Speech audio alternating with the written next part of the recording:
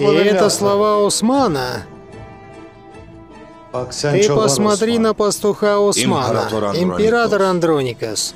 Sizin Напротив вас стоит посол не пастуха Османа, Dahi и даже не посол сельджукского бея Osman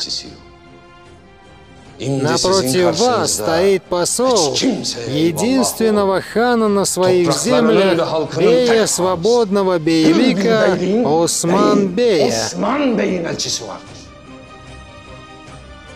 Понимаете, кто стоит напротив вас и говорите соответственно.